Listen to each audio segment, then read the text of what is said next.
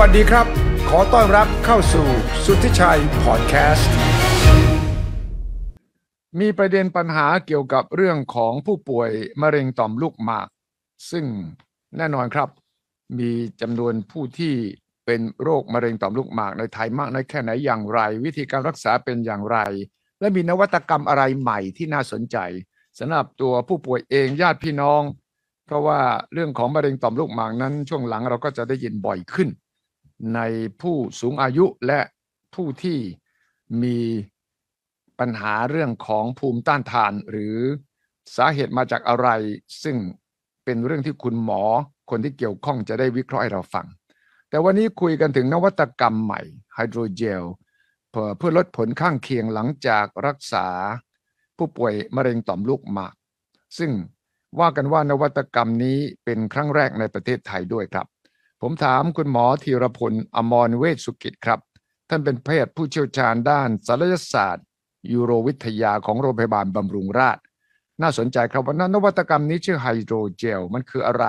แล้วมันช่วยผู้ป่วยมะเร็งต่อมลูกหมากอย่างไร และจริงไหมที่เป็นครั้งแรกในประเทศไทยสวัสดีครับ คุณหมอธีรพลครับสวัสดีครับ สวัสดีครับท่านผู้ชม สวัสดีครับเอ่อคุณสุทธิชัยครับครับ วันนี้เราได้กลับมาคุยกับบำรุงราษฎร์อีกครั้งหนึ่งแต่ว่าหัวข้อนี้ครับน่าสนใจ ณวันนี้นี่เป็นยังไงครับตัวเลขของคนไทยที่เป็นมะเร็งต่อมลูกหมาก และวิธีการรักษาระยะหลังเทคโนโลยีใหม่ๆ ช่วยทำให้รักษาง่ายขึ้นจับได้เร็วขึ้น และทำให้ผู้ป่วยรักษาทุกทรมานความเจ็บป่วยน้อยลงยังไงบ้างครับ ครับเอ่อต้องเรียนให้ทราบว่าเอ่อมะเร็งต่อมลูกหมากเนี่ยเป็นมะเร็งที่พบในผู้ชายสูงอายุนะครับ ในวัยใกล้เกษียณแล้วก็หลังจนถึงหลังเกษียณ นะครับเอ่อในสหรัฐอเมริกาเนี่ย ถือเป็นมะเร็งในชายอันดับสองอืมอ่าถือว่าสูงมากนะในไทยน่าจะประมาณอันดับอันดับสี่ครับนะครับอืมแล้วก็สังคมผู้สูงวัยในในของเราสังของเราเข้าสู่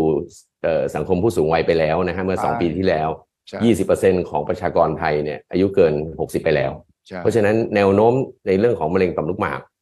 อืมเอ่อสูงขึ้นเรื่อยๆนะฮะครับเป็นอะไรที่เป็นเงาตามตัวอืม ไม่ว่าต่อมลูกหมากโตหรือมะเร็งต่อมลูกหมากก็จะพบเยอะขึ้นเรื่อยๆนะครับอืมครับไอ้ความก้าวหน้าของการวินิจฉัยอืมและก็การรักษามะเร็งต่อมลูกหมากเนี่ยมันไม่หยุดยัง้งอืมครับอืมครับ ยกตัวอย่างเช่น เอ่อในการวินิจฉัยมะเร็งต่อมลูกหมากเนี่ยในอดีตที่ผ่านมาเนี่ย เราใช้แค่การตรวจค่า PSA ในเลือด แล้วก็การล้วงก้นเพื่อคลำต่อมลูกหมากสองอย่างเท่านั้นในการวินิจฉัยมะเร็งต่อมลูกหมากใช่นะฮะซึ่งก็มีความแม่นยำระดับ ปานกลางไม่ไม่ถือว่ามาก แล้วก็มีเออร์เรอร์เยอะมีความผิดพลาดเยอะครับนะฮะคนที่ไม่เป็นมะเร็งต่อมลูกหมาก แต่ดันค่า PSA ดันสูงให้เป็นกังวล ครับแต่คนที่เป็นมะเร็งต่อมลูกหมาก มันก็ขึ้นได้ด้วย ครับปัสสาวะอักเสบก็ขึ้นได้ด้วยอืมอ่ามันหลายหลายอย่างที่เป็นองค์ประกอบทำให้ครับทำให้มันสับสนมากในการเอ่อวินิจฉัยมะเร็งต่อมลูกหมากนะครับ ครับอืมฮึปัจจุบันเนี่ยเดี๋ยวนี้ก็มีเทคโนโลยีในช่วง 5-7 ปีหลังเนี่ยเพิ่มมากขึ้นเรื่อยๆเนี่ยคือการทำ MRI ชนิดพิเศษนะฮะไม่ใช่ MRI ทั่วไปเป็นเอ่อ MPMRI นะฮะอืมช่วยเป็นเป็นอุปกรณ์สำคัญเลยในการคัดกรองอืไม่ใช่แค่ PSA หรือเอานิ้วคำซึ่งค่อนข้างจะเอ่อไม่แม่นยำนักอืมนะฮะเมื่อ MRI เนี่ย ดูเข้าไปทั้งต่อมลูกหมากแล้วเนี่ยมันก็สามารถชี้เป้าละอืว่ามันมีมันมีจุดสงสัย กี่ระระดับไหน อ่า ขนาดเท่าไหร่อยู่ตรงไหนบอกได้เลยอืมนะครับ อ่า มันบอกได้แม้กระทั่งเอ่อระดับความสงสัยด้วย ครับว่าว่าว่าเขาเรียกเขาเรียก PI-RADS score นะฮะบอกสกอร์ ถ้าเป็นสกอร์มันมีตั้งแต่หนึ่งถึงถึงห้าหนึ่งสองสามสี่ห้าครับถ้าเป็นถ้าถ้ามันอ่านว่าเจอก้อน PI-RADS score ห้าอืมเราก็จะอธิบายคนไข้แล้วคุณเจอก้อนที่มีความน่าจะเป็นในการเป็นมะเร็งถึง85%ขึ้นไปอ๋ออ่าเราเราเราก็จะนำไปสู่การการเล็งเป้าเจาะชิ้นเนื้อณจุดนั้น target เล็งไปไปสู่ target แหละครับไม่ไม่ไม่ใช่แบบสุ่มม หรือถ้าเป็นเป็นสกอร์เห็นก้อนในต่อมลูกหมาก แล้วอ่านว่าเป็นไพล t สี่อืความน่าจะเป็นในการเป็นมะเร็งอยู่ถึง60ถึง70เปอร์เซ็นต์อืมนะฮะไพล t หนึ่งสองก็ไม่ต้องทำอะไร ครับ ถือว่ามีความเสี่ยงต่ำหรือต่ำมากอืมนะครับอ่าเพราะฉะนั้นหนึ่ง MRI เนี่ยมีบทบาทสูงเนี่ยเอามาร่วมร่วมวินิจฉัยครับนะครับมเมื่ออยู่ในกลุ่มที่น่าจะต้องเจาะชิ้นเนื้อแล้วเพราะว่ามีเปอร์เซ็นต์สูงจากการอ่าน MRI อืม นะฮะแล้วก็จะมีเทคโนโลยีที่เอ่อแม่นยำสูงในการใช้ MRI ล็อกเป้านะฮะศัพท์เขาเรียกว่า MRI fusion Fusion targeted therapy ใช่แต่ targeted biopsy ตัวทีฮะ MI fusion targeted biopsy อืมถ้าเปรียบเทียบก็คือสมัยก่อนนู้นเนี่ยเราเจาะชิ้นเนื้อเนี่ยก็เราก็เล็งเขาเรียกเขาเรียก systematic คือ random ซุ่มเอา จะโดนโดนไม่โดนไม่รู้ครับนะฮะมันต้องใหญ่พอชัดพอถึงจะถึงจะถึงเอาเข็มยิงโดนใช่โดนเป้าหมาย ใช่แต่ตอนนี้เราใช้เทคโนโลยีก็คือ MI fusion อืม targeted ก็เหมือนกับมันล็อกเป้าให้เลย คุณต้องเอาตรงเนี้ยมันมันโฟกัสตรงนี้มันเหมือนเราเล่นเกมแล้วก็ล็อกเป้าเครื่องบิน ล็อกเป้าเครื่องบินใครอ่าเครื่องบินบินไปไหนมันล็อกไปแล้วอืมอืมอ่าแล้วก็ยิงตามในในในในเป้าหมายที่มันล็อกไว้ให้อันนั้นจะเจ็บความแม่นอยลยำสูงขึ้นมาเจ็บน้อยลงใช่ไหมจำนวนจำนวนเข็มในการเจาะเนี่ยก็น้อยลงเพราะว่าน้อยเราเราไม่ได้แรนดอมเนี่ยเราไม่ random เราใช่เราล็อกเป้าแล้ว ใช่อ่าความแม่นยำก็จะสูงขึ้นอย่างน้อยสิยี่สิบห้าถึงสามสิบเปอร์เซ็นมันก็จะแม่นยำกว่าเก่า ครับนะฮะอืมครับเพราะครับพอจะมี MRI แบบพิเศษนี้ก็ทำให้การค้นพบการวินิจฉัยง่ายขึ้น จากนั้นล่ะ พอเราเจอปั๊บเนี่ย กระบวนการขั้นตอนรักษามะเร็งต่อมลูกหมากช่วงหลังนี้นวัตกรรมใหม่ครับเอ่อ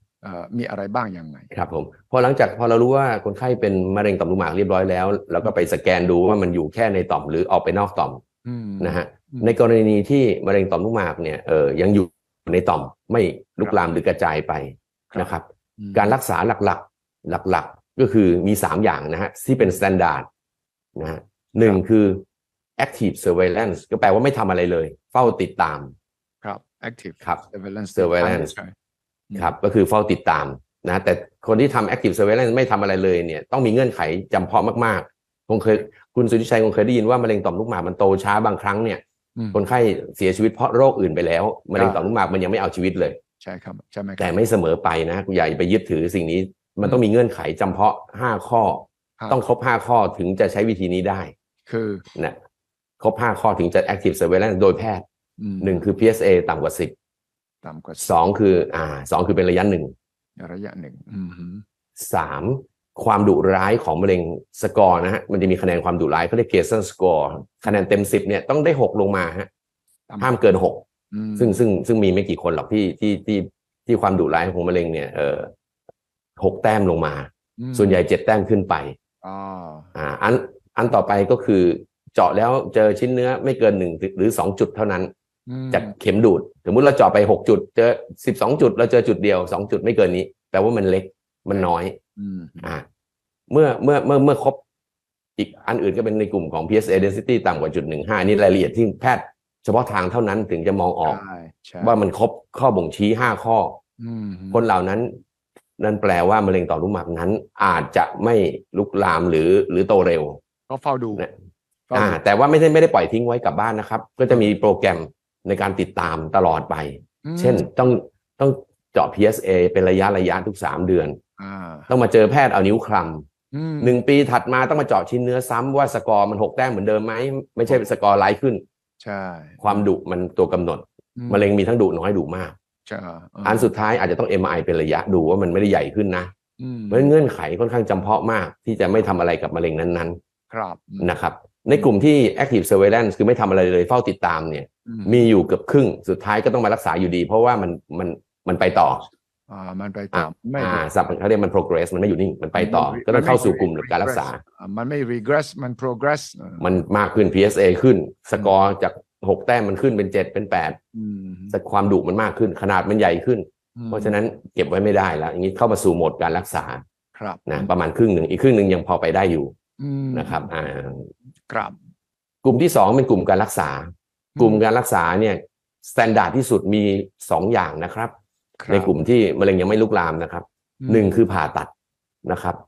ครับ การผ่าตัดเอามะเร็งต่อมลูกหมากเอาทั้งต่อมลูกหมากออกเลยอืมนะครับอืมที่นิยมในขณะนี้ก็คือการเจาะรูโดยควบคุมดาวินชีหุ่นยนต์เข้าไป หมอเนี่ยควบคุมหุ่นยนต์เข้าไป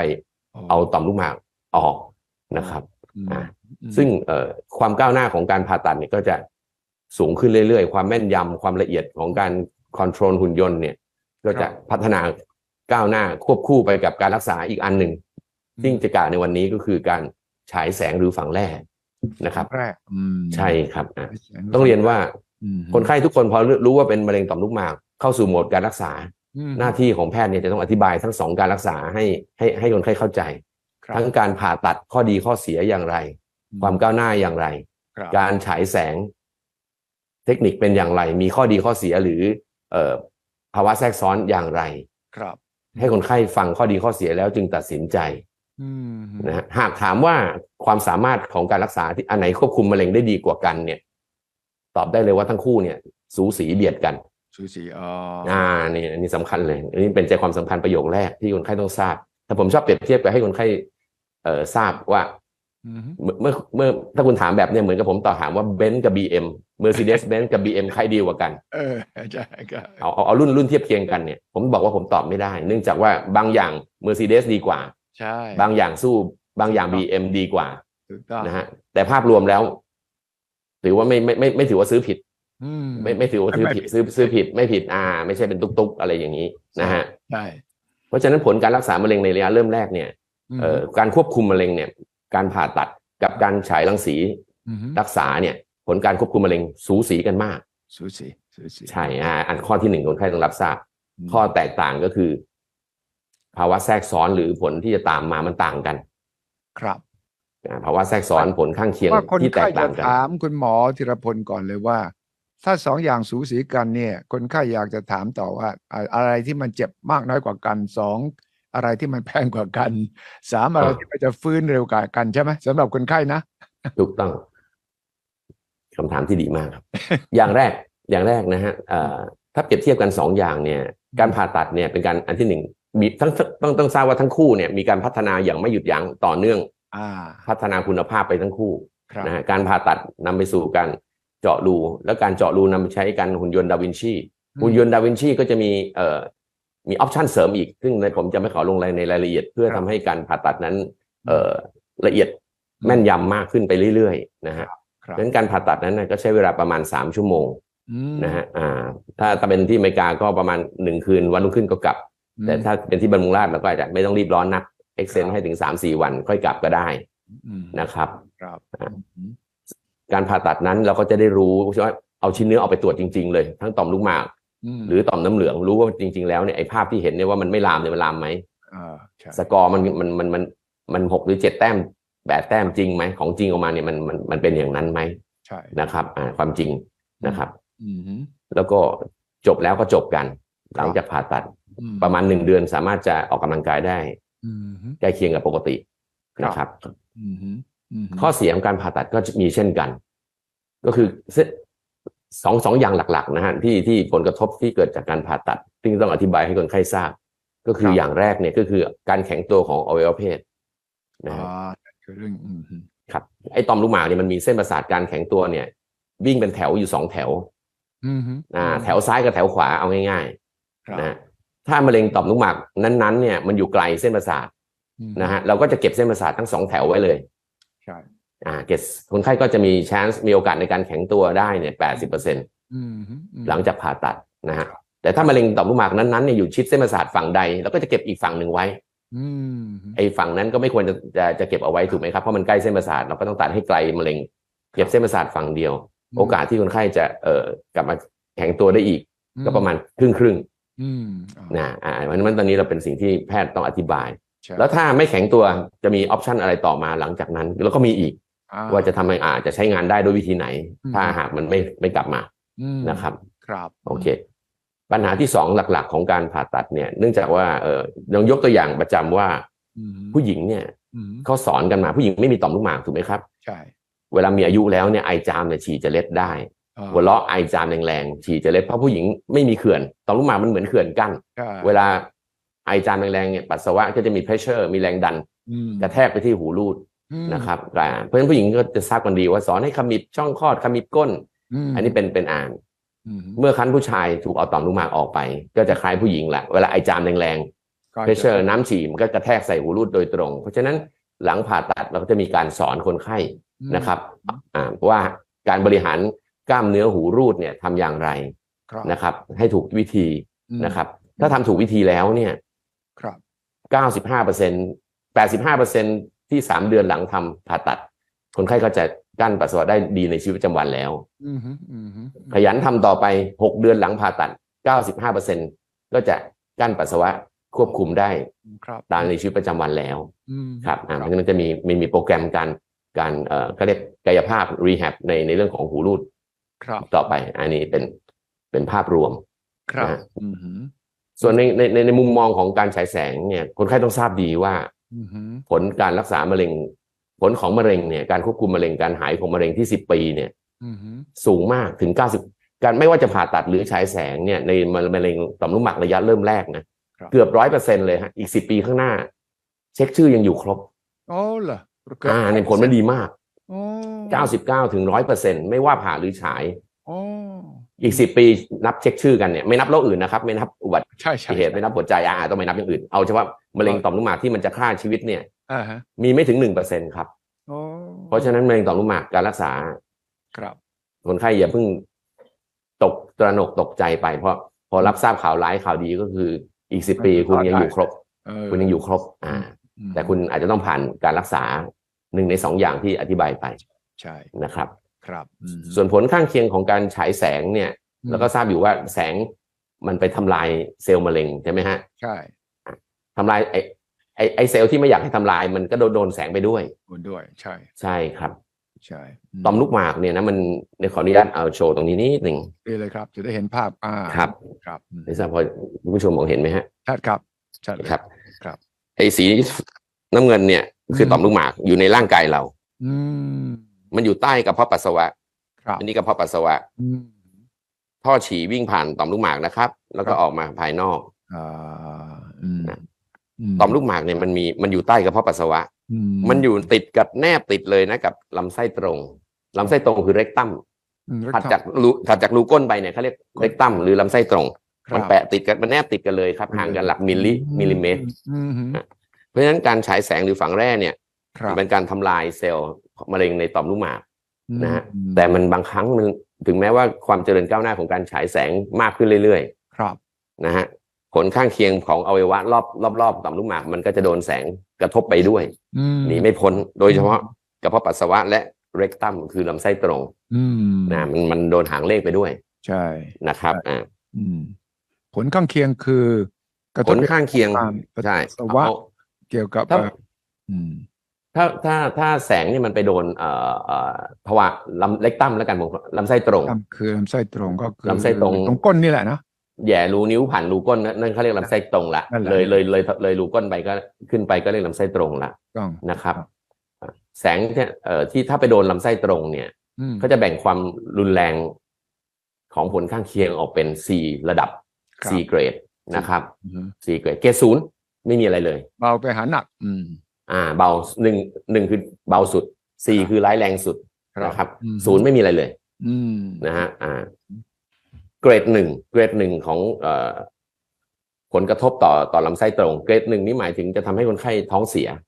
อ๋อนะท้องเสียหรือปวดหน่วงทวารอืมนะครับ แต่เป็นเล็กน้อย ไม่ถึงขั้นต้องต้องซื้อยากินโอเคอ่าแค่แค่ลำคาญครับท้องเสียครั้งสองสามครั้งอะไรเงี้ยต่อวันอืมนะฮะอืมกลุ่มนี้ไม่ต้องซื้อยากินค ผรับลกระทบเล็กน้อยครับนะครับ หลังฉายแสงเนี่ย อ่าอืมเก้าสิบแปดสิบห้าถึงเก้าสิบเปอร์เซ็นเป็นแค่เกรดศูนย์ถึงเกรดหนึ่งเองนะครับอ๋ออ๋อส่วนใหญ่ส่วนใหญ่ไม่ได้ร้ายแรงขนาดนั้นแปดแปดสิบห้าเปอร์เซ็นอืมฮึเป็นไม่เป็นหรือเป็นเพียงเล็กน้อยเกรดหนึ่งครับนะแต่เกรดสองขึ้นไปเนี่ย ชักเดือดร้อนหนักละเหรอเกรดสองนี่คือเอ่อท้องเสียอืมนะครับ ก็ให้ประมาณอ่าสี่ถึงหกครั้งต่อวัน เริ่มเดือดร้อนละ ครับนะฮะหรืออ่าหรือมีอ่าปวดหน่วงทวารหนักจนต้องซื้อยากินยือยายายายาห้ามห้ามอุจจาระยาปวดทวารหนัก หรือมียาระงับการถ่าย ต้องซื้อยากินแล้วไม่ไหวแล้วเอ่อยาอ่ายายาระงับท้องการยาแก้ท้องเสีย อ่ายาแก้ท้องเสียนั่นแหละท้องเสียนะครับอ่าท้องเสียสี่ถึงหกครั้งละเยอะละาแต่ว่าเกรดสองเราเราปวดละหรือปวดทวารชีชี นะครับหรือหรือว่าหรือว่าปวดแล้วต้องรีบไปอึมันอ่ามัมันทนอันไม่ไหวอืมนะครับงั้นชีวิตอ่าไม่ต้องซื้อยากินแล้วล่ะอ่าชีวิตไม่ไม่ไหวละอืมครับครับเพราะฉะนั้นผลข้างเคียงเนี่ยอืมฮึส่วนใหญ่ก็อยู่ที่เกรดสองอืมนะครับอืมเกรดสามรุนแรงขึ้นอีกนะฮะท้องเสีย WHO ก็ให้อยู่ประมาณเจ็ดถึงเก้าครั้งต่อต่อวันอ่ามอึมีเลือดปนเป็นมูกออกมา บางครั้งอาจจะต้องนุ่งแพมเพิร์ดรองก้นโอ้ ไม่ให้เลือดหรือมูกออกมาทางก้นอ่านะท้องอืดจากเอ็กซเรย์เห็นลำไส้บุพองละอืมบวมละนะครับอืมส่วนเกรดสี่นี่รุนแรงสุดก็คือลำไส้ทะลุอ๋อนะครับ อ่า หรือเสียเลือดเลือดออกอือเป็นเลือดจนต้องให้เลือดอืมนะหรือต้องผ่าตัดเข้าไปแก้ไขครับลำไส้อุดตันหรือเลือดออกอืมเหล่านี้นี่เกรดสี่เกรดสี่นี้จากการฉายแสงนี่พบน้อยนะครับ ครับอืมเพราะฉะนั้นเนี่ยมันจะมีผลแทรกซ้อนที่บางครั้งก็หลีกเลี่ยงไม่ได้อืมนะครับอืม แต่ต้องเรียนให้ให้ให้ให้ให้เอ่อคนที่เป็นหรือญาติทราบว่ามันไม่ได้เป็นทุกคนนะครับ ครับอืมแปดสิบกว่าเปอร์เซ็นต์เกรดศูนย์ถึงเกรดหนึ่งปลอดภัยครับก็การรักษาโดยฉายแสงปลอดภัยพอสมควรอืมวันนี้เรามาพูดถึงเพียงสิบเปอร์เซ็นสิบกว่าเปอร์เซ็นต์อืมที่ได้รับผลข้างเคียงกระทบหนักเกรดสองขึ้นไปขึ้นไปนะไม่ใช่คนส่วนใหญ่อืมนะฮะแต่เราไม่รู้มันเกิดกับใครครับสิบกว่าเปอร์เซ็นต์นั้น จึงได้มีเอ่อการรักษาหรือนวัตกรรมใหม่ๆ เพื่อปกป้องไอ้ไอ้สิบเปอร์เซ็นต์เนี่ยที่ที่จะเดือดร้อนเนี่ยอืม ครับที่เป็นครั้งแรกในประเทศไทยครับ อืมครับ มันก็เรียกว่านวัตกรรมไฮโดรเจลใช่ไหมครับใช่ครับเอ่อวิธีเนี่ยอ่าไฮโดรเจลอ่าชนิดเนี่ยเป็นเป็นสารโพลีเอทิลีนไกลคอลอืมนะครับซึ่งเป็นสารที่ใช้กับร่างกาย ยาหยอดตาก็มีสารนี้อ๋อเป็นสารที่ร่างกายเอ่อเอ่อรับได้กับมันครับนะฮะอยู่ในทั้งยาหยอดตาเครื่องสำอางอะไรเหล่านี้นะฮะซึ่งเป็น medical medical grade อืมเอ่อวิธีเนี่ยใน ออยนะฮะที่อเมริกา US FDA เนี่ย approve ตั้งแต่ปี 2015 แล้ว ว่าให้ใช้ในในในในกลุ่มนี้ได้ ถือว่าปลอดภัยพอสมควรครับนะครับอย่างเช่น เช่นเดียวกับการฉีดไอ้น้ำนั่นแหละฮะผมต้องรอให้5ปีขึ้นไปก่อนอืมว่ามันแน่นอนว่าผลการรักษามันมันโอเค เราถึงจะคิดจะเริ่ม ไม่ใช่เริ่มมาปีหนึ่งเราเอามาใช้แล้วก็เลิกเริ่มเริ่มเลิกเลิกอ่าฮะอันนี้อันนี้ผลการรักษาเอ่อเกิน5ปีมาแล้วเนี่ยอืมเป็นที่แน่นอนว่ามันช่วยปกป้องลำไส้ตรงอืม นะฮะไม่ให้มันรับเคราะห์จากการฉายแสงครับครับผมใช่ครับอืมอันนี้เอามาใช้ในประเทศไทยแล้วเป็นยังไงครับ ผลเป็นยังไง ครับใช่เริ่มเริ่มต้นเมื่อเดือนที่แล้วแล้วครับ เออเป็นยังไงนะผลจากคนไข้เขาว่าไงบ้างครับคืออย่างนี้ครับ เอ่อขออนุญาตขออนุญาตอธิบายขั้นตอนการการทำนิดหนึ่งนะครับ ครับ การทำพวกเนี้ยมันเอ่อเราสามารถจะฉีดยาชาทำก็ได้นะฮะหรือว่าให้ยาให้นอนหลับไปก็ได้นะครับอืมเราใช้เข็มเข็มเดียว นะคครัรับบขออนุญาตอธิบายได้เลยคนไข้จะมีบาดแผลแค่รูเข็มเพียงเข็มเดียวอ๋อนะครับอ๋อผ่านผิวหนังนะครับ เข้าไปอืมผ่านผิวหนังเข้าไปช่องว่างระหว่างต่อมลูกหมากกับลูกหมากลำไส้ตรงอ่าต่อมลูกหมากกับลำไส้ตรงเนี่ยมันแนบกันสองสามมิลเองอ๋อเราเข้าไปช่องนั้น ครับ ครับ เสร็จแล้วเนี่ย เราก็จะฉีดน้ำเกลือก่อนเพื่อ เพื่อเช็คว่ามันเข้าแน่อืมถูกตำแหน่งแน่ ครับนะครับ ฉีดขณะทำเนี่ย เราก็จะมีอุลตราซาวด์วัดเป็น real time ครับอืมเร real time เราฉีดน้ำเกลือว่าเราเข็มปลายเข็มเนี่ยเข้าถูกที่หรือเปล่าอืมฮึฉีดน้ำเกลือเข้าไปดูเพื่อแยกชั้น เพิ่มระยะห่าง เพิ่มระยะห่างระหว่างต่อมลูกหมากกับลำไส้ตรงครับนะครับมพอน้ำเกลือมันเข้าถูกที่ถูกตำแหน่งดีแล้ว เราจึงใช้เข็มนั่นแหละอืมฮึฉีดสารไฮโดรเจลครับนะครับอืมที่เราเนี่ยตอนอยู่ที่มือเราเนี่ยมันเป็นน้ำนะครับ แต่พอฉีดเข้าไปในตัวคนไข้แล้วเนี่ย ทันทีเลยมันจะฟอร์มเป็นเจล เจลอ๋อเป็นเหมือนหมอนอ๋อ เหมือนหมอนขั้นไปรอระหว่างขั้นอ๋อขั้นขั้นขั้นระหว่างต่อมลูกหมากอืมกับแค่สองลำไส้ตรง อืมครับ มันขั้นขั้นระหว่างต่อมลูกหมากกับลำไส้ตรง ครับอืมเปิดสเปซให้มันห่างขึ้นประมาณ 1.3 เซนครับ ขั้นไว้ อ่า 1.3 เซนเหลือเฟือเพียงพอที่จะให้ลำไส้ตรงรอดพ้นปลอดภัยจากรังสีแล้วโอ้เหรอ ไกลพอแล้วครับ ครับ อืม มันไม่มันจะแทบไม่โดนหางเลขแล้ว ครับ ครับครับ ถ้าเป็นรูปภาพอืมฮึขออนุญาตอธิบายตรงนี้นะครับ อันนี้คือต่อมลูกหมากครับ อันนี้คือต่อมลูกหมากครับ อันนี้คือลำไส้ตรงอ่าฮะอ่าอ๋อเจลมันอยู่ตรงกลางนั้นเป็นเป็นหมอนเพื่อแยกสเปซอ๋ออ่าฮะแล้วมันอยู่ติดเลย อยู่นามันนอยู่ตรงนั้นเลย ใช่ครับยาวนานมันแค่ไหนั้นอ๋อดีครับ คืองี้กระบวนการมันมันอยู่ประมาณสามเดือน อ๋อเหรอมันอยู่ทรงมันประมาณสามเดือนแล้วที่หกเดือนมันจะมันจะละลายไปเองอ๋อละลายไปเองด้วคยรับอ่าไม่เป็นอันตรายเพราะฉะนั้นขั้นไม่มีผลกระทบข้างเคียงอะไรทั้งสิ้นร่างกายละลายไปเอง ละลายเป็นน้ำไปเองอ๋อดูดซึมไปเองอืมอืสามเดือนที่มันอยู่ทรงเนี่ย หรือเกินสามเดือนเนี่ยมันก็เพียงพอเพราะฉายแสงเสร็จแล้ว ฝังแร่เสร็จแล้วใช่ชีควิรัตบกระบวนการการรักษาจบไปแล้ว มันก็หมดหน้าที่มันก็สลายของมันเอง แล้วถ้ามันเป็นอีกเราฉีดเข้าไปอีกหรือเปล่าหรือว่าครั้งเดียว อ๋อพวกนี้ขอบเขตของการฉายแสงส่วนใหญ่เป็นเป็นการฉายแสงครั้งเดียว ครั้งเดียวนะอ๋อใช่หรือหรือหรือหรือฉายแสงร่วมกับการฝังฝังแร่ครับนะฮะหรือที่เขาเรียกว่า brachytherapy คือเป็นการฉายแสงจากภายในต่อมลูกหมากออกมา ครับอืมอ่าอืมอืมพอหลังจากหมดกระบวนการโดยทั่วไปก็ประมาณ2เดือนก็จบกันละอืมเจลมันก็หมดหน้าที่หมดหน้าที่6เดือนมันก็ละลายไปหมดครับอ๋อแล้วหลังจากใช้ไฮโดรเจลนี่คนไข้ต้องดูแลตัวเองยังไงเป็นพิเศษหรือเปล่าครับ เออกระบวนการการฉีดเนี่ยประมาณสิบกว่านาทียี่สิบนาทีก็เสร็จนะครับโอ้แล้วก็กลับบ้านได้เลย ได้เลยครับอืมใช่ครับ ไอ้ผลไม่ต้องดูแลอะไรเป็นพิเศษครับ มีก่อนทำเนี่ยก็จะมีการให้ยาแก้อักเสบนะฮะป้องกันการอักเสบติดเชื้อ ซึ่งการอักเสบติดเชื้อในหลังทำพวกนี้ก็ประมาณหนึ่งเปอร์เซ็นเท่านั้นอ๋อถึงสองเปอร์เซ็นต์ครับนะฮะอืมแล้วก็อาจจะมีอาการหน่วงหน่วงๆลำคาญที่ทวารมักจะเป็นเรื่องของชั่วคราว ครับนะเพราะเราไปฉีดแถวแถวๆบริเวณนั้น ก็มีหน่วงครับมีลำคาญทวารได้บ้าง ครับ ส่วน ผลแทรกซ้อนรุนแรงเนี่ย ถือว่าครับน่าจะหนึ่งหนึ่งในแสนได้มั้งที่อเมริกาตอนนี้ทำไปเกินสองแสนห้าหมื่นลายไปแล้ว วิธีนี้อ๋อใช่ครับ ครับครับฉะนั้นถ้าผ่าตัดไม่ต้องทำไฮโดรเจล แต่ถ้าฉายแสงต้องใช้อย่างนั้นเลยครับใช่ถูกต้องครับผ่าตัดไม่ต้องไม่ไม่ไม่ไม่ไม่ไม่มีที่ใช้ในการใช้ไฮโดรเจลอืมไฮโดรเจลเหมือนเหมือนเอ่อเปิดสเปซเปิดช่องเป็นหมอนกั้นไว้ เพื่อปกป้องรังสีไม่ให้ใช่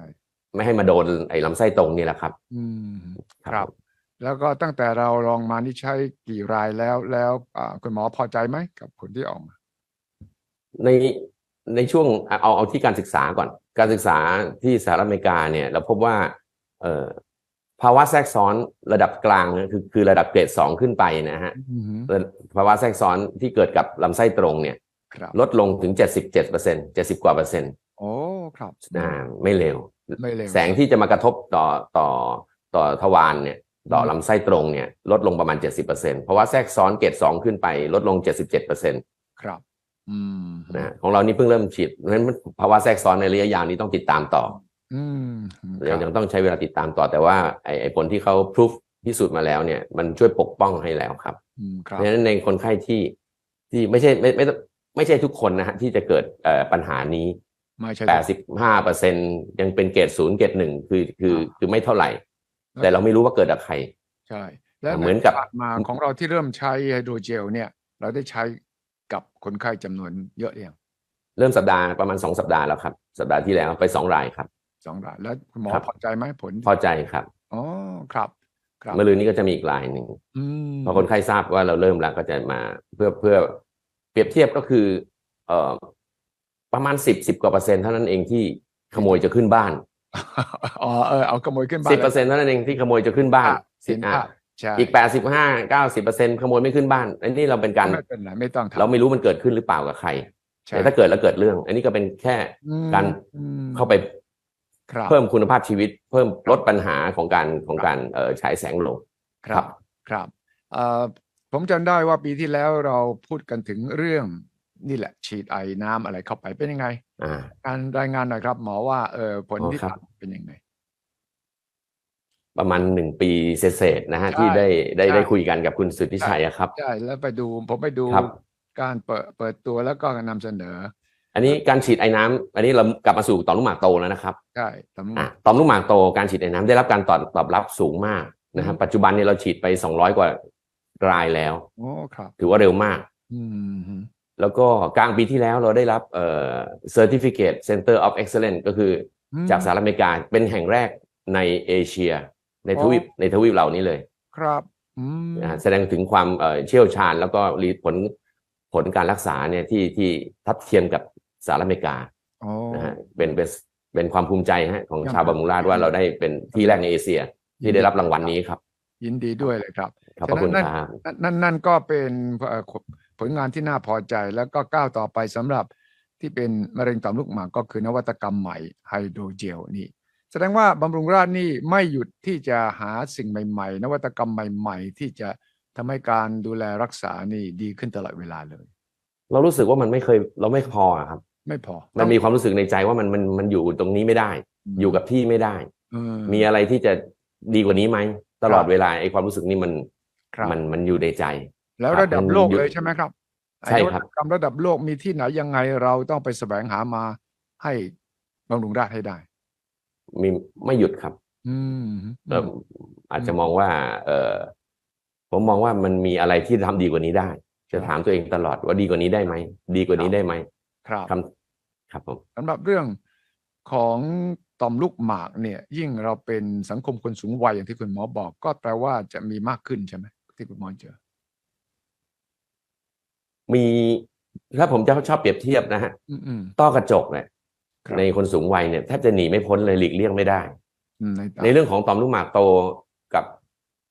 มะเร็งต่อมลูกหมากในอนาคตเนี่ยมันมันมันเพิ่มเป็นเงาตามตัวครับหนีไม่แทบไม่พ้นเลยครับใช่ยิ่งอายุยืนยิ่งมายิ่งเรื่องนี้ครับเออมันมาด้วยกันแหละนะ มันไม่เลิกครับ มันไม่ปริมาณสูงขึ้นเรื่อยมันเป็นธรรมชาติมนุษย์นะเราอยู่นาน ปกติแต่ก่อนนี้คนอายุสี่สิบห้าสิบก็ตายละเพราะฉะนั้นต่อมลูกหมากอาจจะไม่เป็นประเด็นๆถูกต้องเลยครับ ใช่ไหมใช่เลยครับเอนี่อตอนนี้หกสิบเจ็ดสิบแปดสิบนี่เห็นไหมเออ ก็ยังสมัยก่อนแค่80นี่ก็ถือว่าอายุยืนกันแล้ว ทุกวันนี้คนไข้80กว่าเดินมาคนเดียวมาตรวจเฉยเลยนะเป็นเรื่องปกติเฉยเลย90เฉยเลยอืมนะฮะอนาคตเราคงเห็นนั่นร้อยกว่ากันนั่นแหละเฉยอายุยืนมันก็มีข้อดีและข้อเสียของมัน คือ อายุยืนเราก็อยู่ได้ได้มีความสุขอยู่กับครอบครัวอยู่กับสิ่งที่เรารักได้ยาวขึ้น แต่ขณะเดียวกันมันก็มาพร้อมกับอ่าภัยคุกคามที่เราเดแต่ว่า คุณหมอที่เราเป็นบอกว่า เอ้ย ป้องกันได้ดูแลได้ไม่ต้องห่วงใช่ไหมถูกต้องครับอ่าฮะเพราะว่าขออนุญาตเรียนว่าถ้าต่อมลูกหมากโตเนี่ยอืมเรามีเอ่อไม่ใช่แค่ไอ้น้ำนะครับ จริง ๆ แล้วไอ้น้ำก็เป็นแค่ส่วนเล็กใช่ๆส่วนเล็ก ๆ จริงๆทั้งการวินิจฉัยขั้นตอนการวินิจฉัยอืมการรักษาไม่ว่าจะเป็นเลเซอร์ ทุกชนิดของต่อมลูกหมากมอยู่ที่นี่เรามีหมดแล้ว ครับไอ้น้ำเป็นเป็นไอ้ส่วนที่เติมเต็ม และในอนาคตก็อาจจะมีอีกเรื่อยๆ โลกมันไม่หยุด ครับ ในส่วนของมะเร็งต่อมลูกหมาก เรามีการรักษาครบถ้วนไม่ว่าการฉายแสงการฝังแร่อืมการผ่าตัดครับโดยใช้หุ่นดาวินชีก็พัฒนาแข่งขันกันไม่หยุดครับ แต่ว่าที่เรานี้เราทำงานกันแบบเป็นสหวิชาชีพ ไม่ว่าหมอผ่าตัดหมอฉายแสงทีมเดียวกันอยู่ตัดสินใจไม่มีการชั้น แย่งเคสเธอเธอแย่งเคสฉันไม่มีเราตัดสินใจให้คนไข้เป็นเป็นศูนย์กลางครับครับครับให้คนไข้เลือกในสิ่งที่ที่เหมาะกับตัวเอง เรื่องนี้จริงเพราะว่าคนอายุมากขึ้นเนี่ยไอ้ต่อมลูกหมากอาจจะเป็นเพียงปัญหาเดียว ของสุขภาพ มันมีอย่างอื่นมาเกี่ยวข้องแน่นอนใช่ไหมครับ มันก็จะมีปัญหาบางคนก็เป็นหัวใจด้วยนะแล้วก็ต่อมลูกหมากก็มาพร้อมกันด้วย บางคนโน่นเลย เข่าเคอก็ไม่ดีเดินก็ไม่ได้ดังนั้นไอ้สหสาขาวิชาชีพนี่สำคัญมากนะอืมใช่ครับอืมคนเราไม่ได้มาเรื่องเดียวนะครับมามามามาเป็นแถวเลยฮะชื่อโลกเขามาเป็นแถวใช่ แล้วก็ใช่อ่าแล้วยังไงเราไปหาหมอคนนี้ หมอกระดูก เสร็จแล้วเดี๋ยวเราเดินข้ามไปอีกอะอะ นัดหมอกระดูกวันนี้อีกสองวัน หมอหัวใจนัดอีกสองวัน หมอต่อมลูกหมากนัด ถ้าเป็นบำรุงด้านนี่มีทางที่จะประสานกันได้ใช่ไหมใช่ครับอืมอืมอืมอืมหกเจ็ดหมอบางทีจบในในในในในครึ่งเช้ากันอ่าอะอย่างกรณีต่อมลูกหมากเนี่ย มันมีโรคอะไรที่มันโยงกัน ที่หมอที่เกี่ยวข้องกันเกี่ยวกับต่อมลูกหมากที่คนไข้ควรจะรู้ แน่นอนครับ เอ่อโรคต่อมลูกหมากโตหรือมะเร็งต่อมลูกหมากเนี่ยมาในคนสูงวัยครับคนสูงวัยนี่โรคมาเป็นชุดครับ นะฮะครับในเรื่องของโรคของหัวใจเนี่ยเราทำงานร่วมกับหมอหัวใจเป็นประจอืมำนะครับอะอืมเรื่องของสมองอืมสมองตั้งแต่เส้นเส้นเลือดตีบเส้นเลือดสมองเสื่อมใช่อะไรเหล่าเนี้ยเพราะฉะนั้นเนี่ย สิ่งที่ดีที่สุดของคนคนหนึ่ง การรักษากับเทียบกับอีกคนหนึ่งอาจจะไม่ดีที่สุดสำหรับอีกคนหนึ่ง เพราะฉะนั้นเนี่ยในแต่ละอย่างในแต่ละคนเนี่ยก็เหมือนกับเราอ่าตัดสูทเท tailor-made อืมใช่ครับอืมอืมอืมใช่ครับ ไม่ไม่ได้ไม่ใช่เป็นเป็นเป็นเป็นเหมา อืมฮึครับครับครับ ตอนนี้คนที่ฟังเราอยู่เนี่ยอาจจะอายุตั้งแต่ห้าสิบขึ้นแล้วก็ต้องเริ่มกังวลเรื่องต่อมลูกหมากแล้วล่ะอาการมันมีอะไรที่จะส่อไปในทาง วิธีป้องกันก่อน อ่า เพราะว่าอ่าเราเริ่มฉี่บ่อยขึ้น เดี๋ยวก็อะฉี่บ่อยขึ้นมันเกิดจากอะไรไม่เกิดจากเบาหวานหรือมันเกิดจากต่อมลูกหมากอะไรหรือไม่อย่างไรเอาวิธีเอาต่อมลูสักญหมากญาณสัญญาณอะมะไรเร็งหรือมะเร็งมะเร็งหรือต่อมลูกหมากโตครับ อ่ามาตอมลูกไม่รู้ละฉี่บ่อยเนี่ยเราก็ตกใจเพื่อนโอเคบอกถ้าอยู่ฉี่บ่อยแล้วนะกลางคืนตื่นก็ฉี่อ่าครั้งสองครั้งแล้วเหรอเนี่ยเออเนี่ยเออสงสัยต่อมลูกหมากมั้งอีกคนบอกอืมเบาหวานหรือเปล่าอีกคนหนึ่งอาจจะบอกกินน้ำมากไปหรือเปล่าแต่นั้นเอ่ออาการเหล่านี้เนี่ย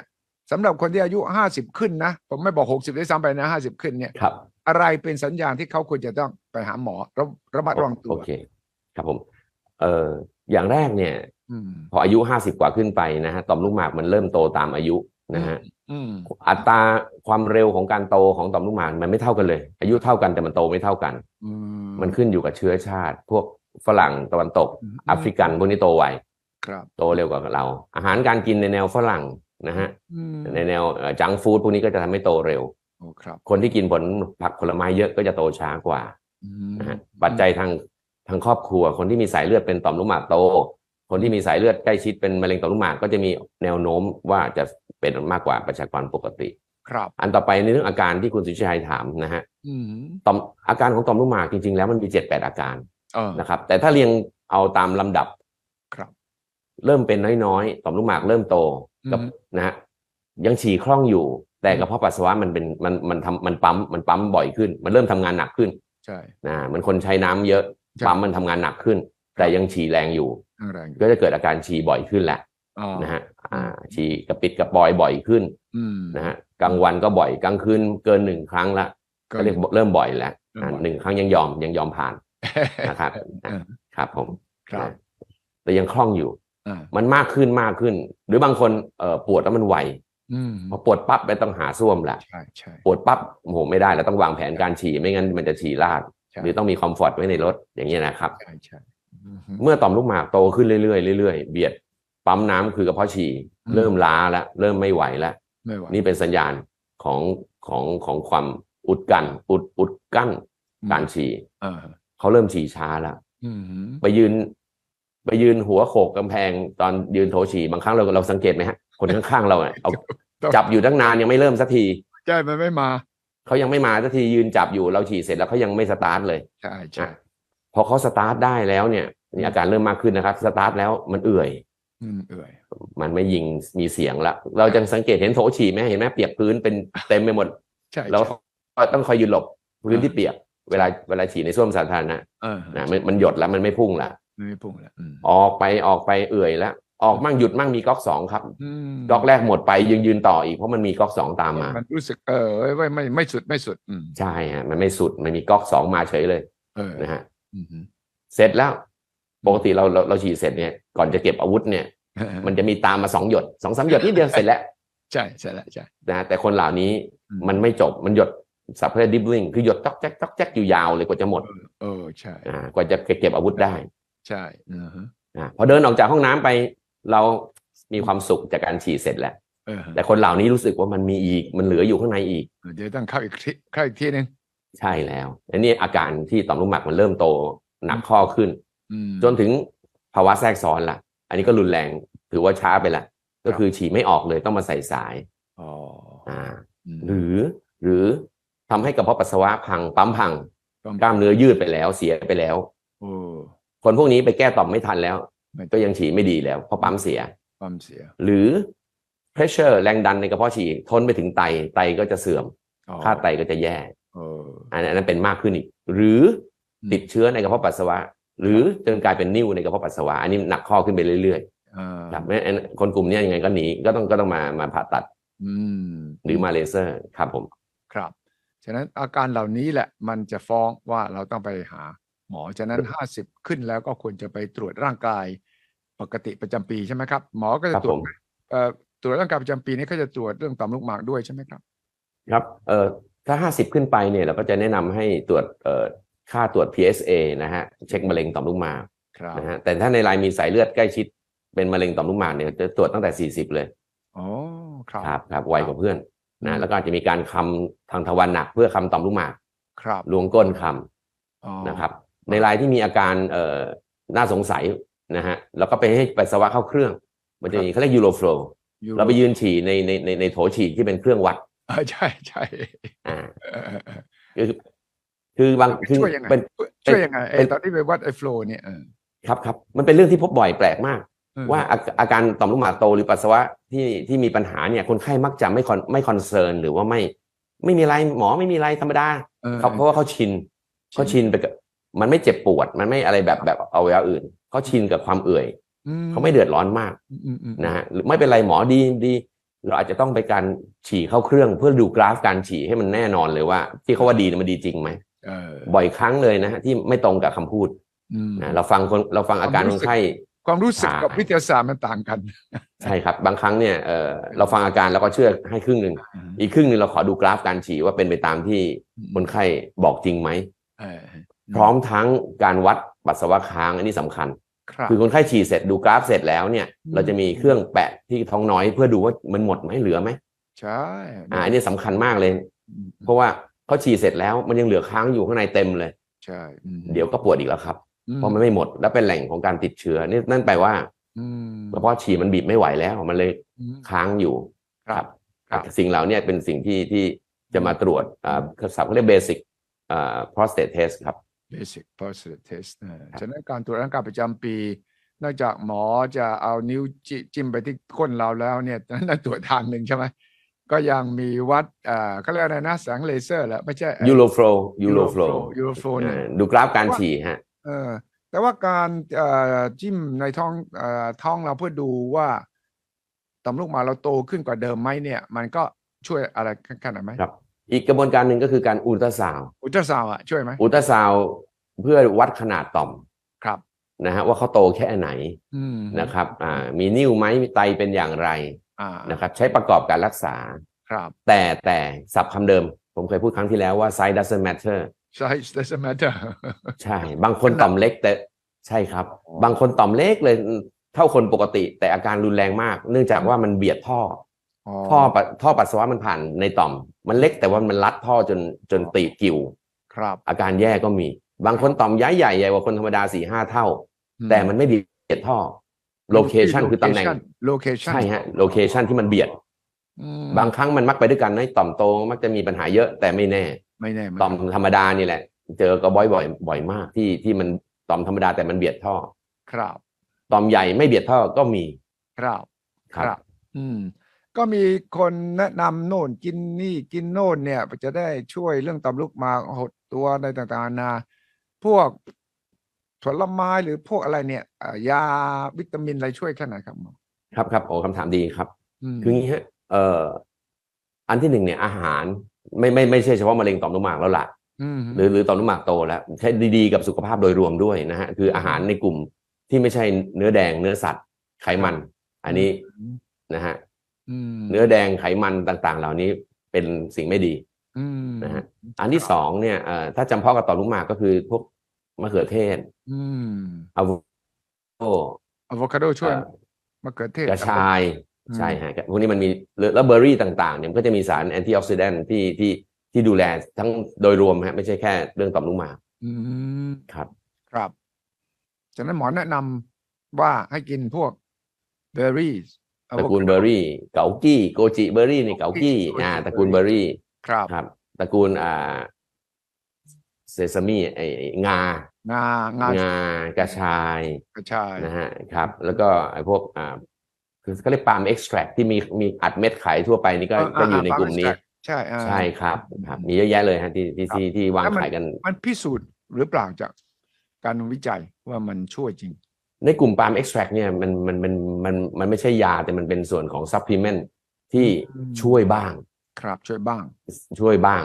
อืมครับสามารถจะซื้อหาได้เองตามตามตามท้องตลาดโดยไม่ต้องมีใบสั่งแพทย์ใช่ก็เหมือนกับเรากินสมุนไพรใช่ครับครับช่วยบ้างใช่ครับ แต่ถ้าอะช่วยแล้วไม่ไม่ไม่ดีขึ้นหรือว่าการเอ่อแย่ลงต้องมาพบแพทย์นะครับ ครับ เรื่องการออกกำลังกายเรื่องของการพักผ่อนนี่ก็มีส่วนช่วยอยู่แล้วใช่ไหม น้ำหนักความอ้วนเนี่ยมีปัญหากระต่อมด้วยเพราะฉะนั้นการเรื่องเรื่องน้ำหนักนี่จะจะยิ่งมากยิ่งมีปัญหาเรื่องต่อมใช่เอาน้ำหนักด้วยครับเพราะฉะนั้นการออกกำลังกายก็จะช่วยลดน้ำหนักด้วยอืมอืมมีผลดีกับต่อมลูกหมากครับ อืมครับครับ นี่ครับเป็นอัปเดตล่าสุดว่าด้วยนวัตกรรมไฮโดรเจล เพื่อจะช่วยผู้ป่วยมะเร็งต่อมลูกหมากนะครับ ถือว่าเป็นครั้งแรกในประเทศไทยที่เริ่ม และพอทันทีที่นำมาใช้ในประเทศไทย คุณหมอธีรพลแห่งโรงพยาบาลบำรุงราษฎร์ก็มาคุยกับผมเพื่อจะได้สื่อสารกระจายข่าวแล้วก็ได้อัปเดตเรื่องของต่อม ลูกหมากมะเร็ง แล้วก็ลูกหมากโต ซึ่งเราได้พูดคุยกันผมเชื่อว่าคนสนใจเป็นจำนวนมากทั้งเจ้าตัวเองแล้วก็ญาติพี่น้องคนใกล้ชิดด้วยนะครับเพราะว่าใครก็ตามแต่ที่ป่วยเอง คนที่อยู่รอบข้าง ก็จะต้องมีส่วนช่วย เพราะว่าถ้าอายุมากขึ้นมากขึ้นเนี่ย คนรอบข้างข้างต้องรู้ครับว่าเรา